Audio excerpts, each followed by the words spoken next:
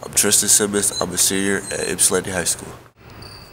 I've been playing basketball since I was in the sixth grade. One day I was just strolling the parks and I just picked up a ball and went to the park and just started playing. I wasn't that good though when I first started. Like I would not get picked up for any pickup games or nothing. So so I just improved myself and just got better. I'm very close to all of them on the team. We bond, we bond as one. It's, it was a wonderful thing because I basically played basketball with them like all my life. So I'm definitely gonna remember Coach Brooks, always. Cause he, he he's a special guy and he do a lot for the kids in this program, and it, it was just unbelievable. Like he showed me things like I never saw. Like tell you the truth, I didn't even know about going to college when I was in the ninth grade, at, like for basketball until I came here.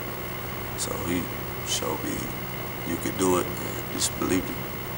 I'll tell him uh, I love him and thank you for everything you've done when I was at Ypsilanti High.